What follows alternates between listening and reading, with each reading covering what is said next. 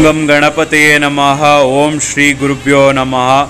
ಬೆಂಗಳೂರಿನ ಮೇಲ್ಮರ್ವತ್ತೂರ್, ಎರಡನೇ ಮೇಲ್ಮರ್ವತ್ತೂರ್ ಎಂದೇ ಪ್ರಸಿದ್ಧಿ ಪಡೆದಿರುವಂಥ ಓಂ ಶ್ರೀ ಆದಿಪರಾಶಕ್ತಿ ಅಮ್ಮನವರ ನಲವತ್ತನೇ ವರ್ಷದ ಜಾತ್ರಾ ಮಹೋತ್ಸವ. ಓಂ ಶಕ್ತಿ, ಆದಿಶಕ್ತಿ, ಪರಾಶಕ್ತಿ, ಓಂ ಶಕ್ತಿ, ಆದಿಶಕ್ತಿ, ಪರಾಶಕ್ತಿ. ಹಾಗೂ ಜಾತ್ರಾ ಮಹೋತ್ಸವಕ್ಕೆ ಹಲವಾರು ಸಹಸ್ರಾರು ಭಕ್ತ ವೃಂದ ವಿವಿಧ ಜಿಲ್ಲೆ ರಾಜ್ಯಗಳಿಂದ ಆಗಮಿಸಿದ್ದು ಅಮ್ಮನವರ ಕೃಪೆಗೆ ಪಾತ್ರರಾದರು. ಓಂ ಶ್ರೀ ಆದಿಪರಾಶಕ್ತಿ ಅಮ್ಮನವರ ಶಕ್ತಿಪೀಠ ದೇವಸ್ಥಾನ ನಲವತ್ತನೇ ವರ್ಷದ ವಾರ್ಷಿಕೋತ್ಸವ. ಕ್ಷೀರಾಭಿಷೇಕ, ಹೂವಿನ ಹಸಿ ಹೂವಿನ ಕರಗ ಹಾಗೂ ರಥೋತ್ಸವವು ವಿಜೃಂಭಣೆಯಾಗಿ ಜೀವನ್ ಭೀಮ ನಗರದ ಹಲವಾರು ಬೀದಿ ಬೀದಿಗಳಲ್ಲಿ ಮೆರ ವಾದ್ಯ ವೈಭವಗಳೊಂದಿಗೆ ಅದ್ದೂರಿ ಮೆರವಣಿಗೆ ನವದುರ್ಗೆಯರ ನೃತ್ಯ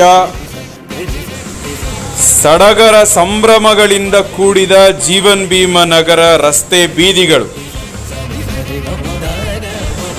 ಓಂ ಶಕ್ತಿ ಶಕ್ತಿ ಅಮ್ಮನವರ ಒಂಬತ್ತು ದಿನದ ಕಾರ್ಯಕ್ರಮ ನಲವತ್ತನೇ ವರ್ಷದ ವಾರ್ಷಿಕೋತ್ಸವ.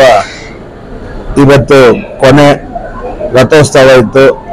ಕೇರಳದಿಂದ ತುಂಬ ವಿಭಿನ್ನವಾದ ಶಿವ ಪಾರ್ವತಿ ನಲವತ್ತಡಿ ರಥೋತ್ಸವ ಇತ್ತು. ಮತ್ತೆ ಆ ಆ ಒಂದು ಕೇರಳದ ನಯಾಂಡ್ ಉದ್ಯಾನಗಳು ಬಂದು ಒಂದು ವಿಶೇಷವಾಗಿ ಇತ್ತು.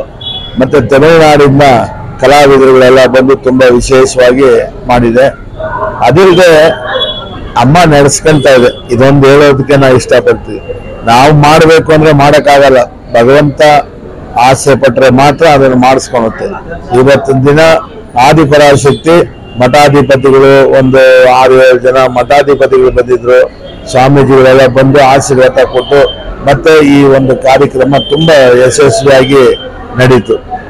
ಈ ಒಂದು ದೇವಸ್ಥಾನದಲ್ಲಿ ಪ್ರತಿ ವರ್ಷ ನಡೆದಂಗೆ ಈ ವರ್ಷನು ಮೊದಲ ದಿನ ಗಂಜಿ ಪೂಜೆ, ಎರಡನೇ ದಿನ ಹಾಲಾಭಿಷೇಕ ಮೂರನೇ ದಿನ ಕರಗ ನಾಲ್ಕನೇ ದಿನ ಸಾಮೂಹಿಕ ವಿವಾಹ. ಅದೇ ರೀತಿ ಐದನೇ ದಿನ ರಥೋತ್ಸವ. ಈ ತರ ಒಂಬತ್ತು ದಿನ, ಒಂಬತ್ತು ಕಾರ್ಯಕ್ರಮಗಳನ್ನ ನಾವು ಪ್ರತಿ ವರ್ಷ ಮಾಡ್ತೀವಿ.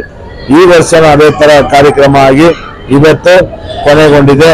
ಎಲ್ಲರಿಗೂ ತಾಯಿ ಆದಿಪರಾಶಕ್ತಿ ಆಯುರ, ಆರೋಗ್ಯ, ಐಶ್ವರ್ಯ ಕೊಟ್ಟು ಕಾಪಾಡಬೇಕು. ಅವ್ರ ಮನಸ್ಸಿನಲ್ಲಿ ಎಲ್ಲ ಕೊರೆಗಳು ತೀರಿಸಿ ಅವರು ನೆಮ್ಮದಿಯಿಂದ ಜೀವನ ನಡೆಸಂಗೆ ಒಂದು ಶಕ್ತಿ ಕೊಡ್ಬೇಕಂತ ಅಮ್ಮನ ಸುಮಾರು ಒಂದು ಇಪ್ಪತ್ತೈದು ಮೂವತ್ತು ಸಾವಿರ ಜನಕ್ಕೆ ಬೆಳಗ್ಗೆಯಿಂದ ಸಂಜೆವರೆಗೂ ಅನ್ನದಾನ ಏರ್ಪಾಡು ಮಾಡಿದ್ರೆ ಭಕ್ತಾದಿಗಳು ಹೆಚ್ಚಿನ ಸಂಖ್ಯೆಯಲ್ಲಿ ಬಂದಿರ್ಬೋದು. ನಮ್ಮ ಒಂದು ಐಡಿಯಾ ಅಷ್ಟೇ. ಯಾಕಂದ್ರೆ ಈ ಕಲಾವಿದಾರಗಳನ್ನ ಕಲೆಗಳನ್ನ ನೋಡೋದಕ್ಕೆ ಅಂತ ಭಕ್ತಾದಿಗಳು ಹೆಚ್ಚಿನ ಸಂಖ್ಯೆಯಲ್ಲಿ ಬರ್ತಾರೆ. ದೇವ್ರು ನೋಡ್ತಾರೋ ಇಲ್ಲೋ ಗೊತ್ತಿಲ್ಲ. ಈ ಕುಣಿತ ಪಣಿತ ಅದೆಲ್ಲ ನೋಡ್ಬೇಕು ಅಂತ ಹೇಳೋದಕ್ಕೆ ಆಸೆಯಾಗಿ ಈ ಯೂತ್ಸ್ಗಳು ವಯಸ್ಸು ಹುಡುಗರುಗಳು ತುಂಬಾ ವಿಪರೀತ ಬಂದು ಈ ಕಾರ್ಯಕ್ರಮ ಯಶಸ್ವಿ ಮಾಡಿಸ್ಕೊಟ್ರು. ಅದೇ ನಮ್ಮ ಸಂತೋಷ. ನಾವು ಮಾಡುವಂತ ಸೇವೆಗೆ ಭಕ್ತಾದಿಗಳು ಬಂದು ಅದು ಯಶಸ್ವಿ ಮಾಡಿಸ್ಕೊಟ್ರೆ ಮಾತ್ರನೇ ಒಂದು ಸಮಾಧಾನ. ಅದೇ ತರ ಭಕ್ತಾದಿಗಳೆಲ್ಲ ಬಂದು ಈ ಕಾರ್ಯಕ್ರಮ ತುಂಬಾ ಯಶಸ್ವಿ ಮಾಡಿಸ್ಕೊಂಡ್ರೆ ಎಲ್ಲಾ ಭಕ್ತಾದಿಗಳು ಸನ್ಮಂಗಳವನ್ನು ಉಂಟು ಮಾಡಲಿ ಆ ತಾಯಿ ಆದಿಪರಾಶಕ್ತಿ ಒಳ್ಳೆ ಆರೋಗ್ಯ, ಭಾಗ್ಯ ಕೊಟ್ಟು ಕಾಪಾಡಲಿ ಅಂತ ಅಮ್ಮನಿಗೆ ಓಂ ಶಕ್ತಿ.